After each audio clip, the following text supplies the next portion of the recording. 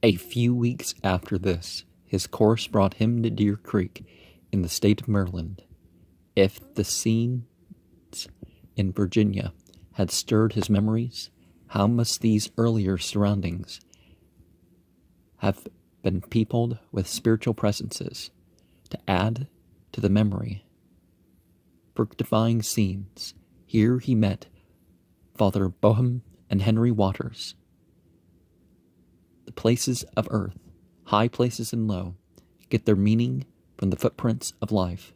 This was Asbury's last visit to this region, as also his last sight of these venerable men.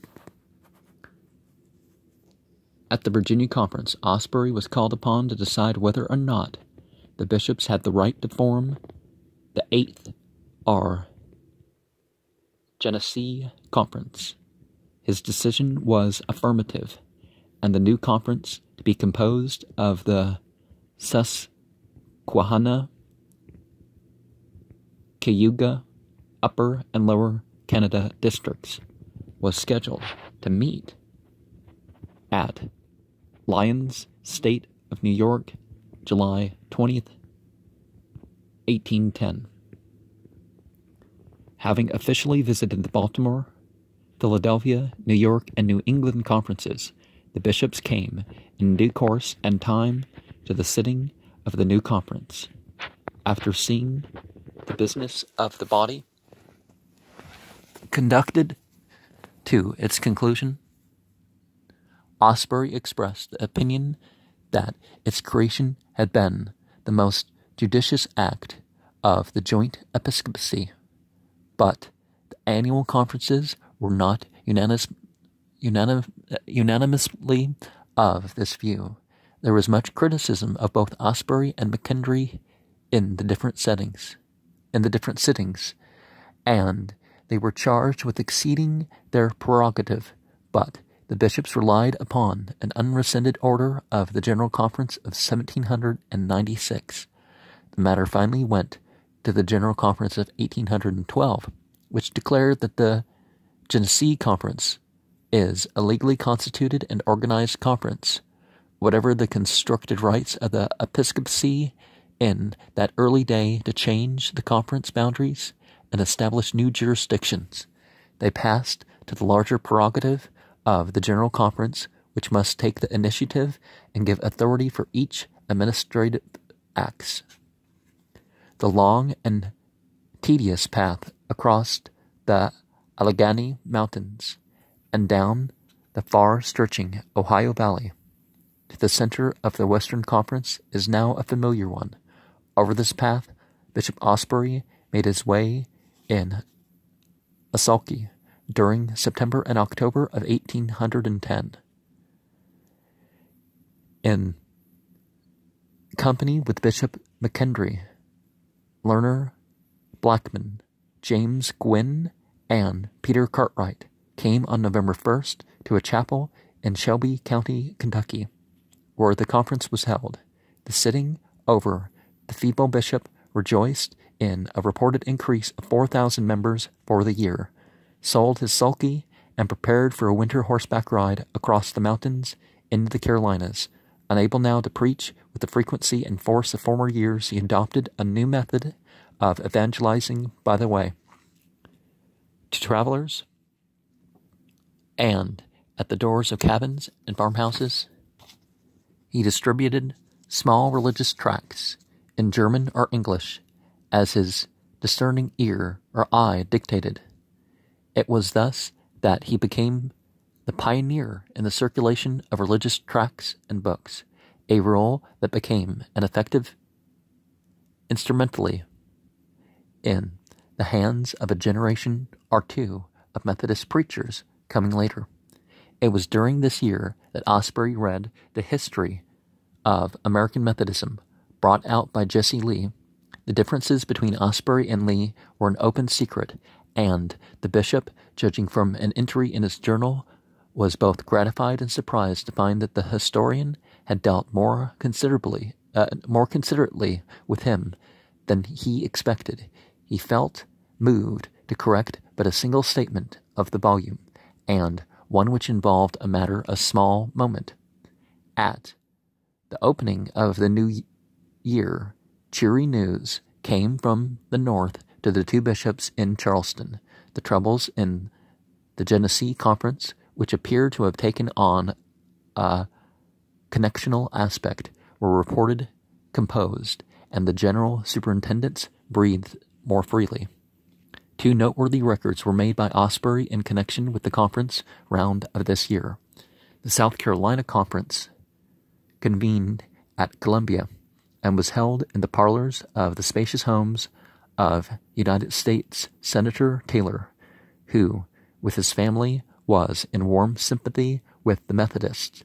The members of the conference were entertained in the, in the many chambers of the hospitable establishment, the Virginia Conference being appointed to meet in Raleigh, North Carolina. The state officers' hospitality put the Senate chamber and hall of representatives at the disposal of the body. The business sessions were held in the chamber, while the hall was devoted to preaching services three times each day.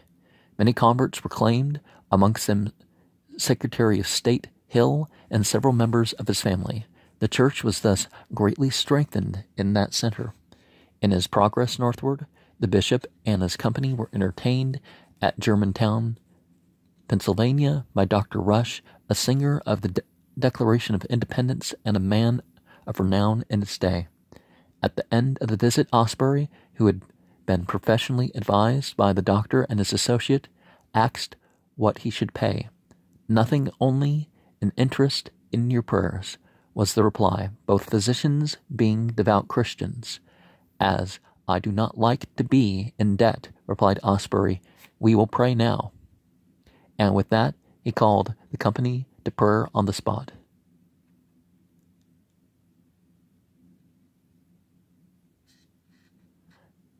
At the height of summer, and between the sittings of the New England and the Genesee conferences, Asbury crossed St. Lawrence and made a tour of a fortnight's length through the southern Canada. He saw comparatively little of the country, but got a fair idea of conditions there. He saw difficulties, but was cheered with prospects. His patriotic American feelings were deeply stirred while crossing the line. Returning from the hardship of the adventure, he fell sick and fainting in the arms of Bishop McKendree for whom his affection increased each day, the annual conference sessions of the summer, autumn, winter, and early spring returned delegates to the General Conference to be held in New York May 1st, 1812. This was to be the first delegated session of that body, and much interest centered around the elections. The absorbing issue then, before the conference, was the status of the presiding eldership. Should it remain an office uh, to be filled by the appointment of the bishops, or should the annual conferences elect the incumbents by ballot? Asbury was deeply concerned that the old rule should not be substituted, and it is certain that McKendree shared his sentiments. The issue influenced the elections to no small extent, but we shall see how a conclusion favorable to the old order was reached in the general Methodist mind even before the death of Asbury. And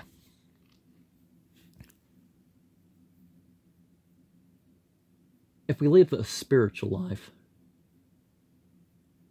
or perhaps someone involved in an area or subject or whatever does, then you end up with uh, natural uh, mythologization of the whole, you know, of those aspects of life. And this this thing where people like, I'll pray for you, and then they get down and right in front of you. It's like, okay, but um, you got to be careful if you're going to do anything like that. Don't make sure that it doesn't, you know, come off like you're just making a show of it or something.